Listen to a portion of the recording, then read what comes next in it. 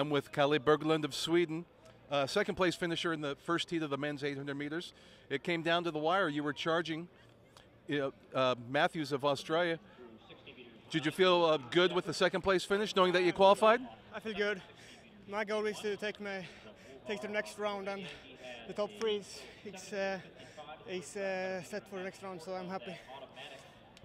Uh, the 150.99 is a decent time, but uh, were you affected by how slow the first lap was? Did you were you hoping that it was going to be a little bit faster?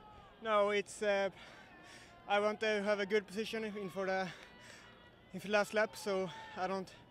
So I have a good uh, position for the for the last 300 when then starts pushing, and then I want one or two. So so that's